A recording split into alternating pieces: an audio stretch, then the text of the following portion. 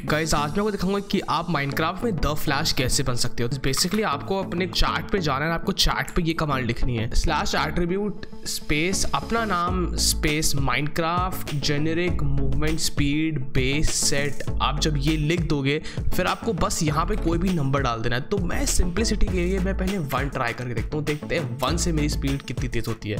तो oh my God okay guys ये ये एक्चुअली स्पीड बहुत तेज़ है.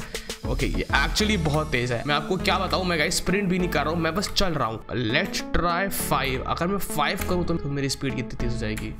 Oh my God okay guys ये ये कोई ये कुछ ज़्यादा ही तेज़ है.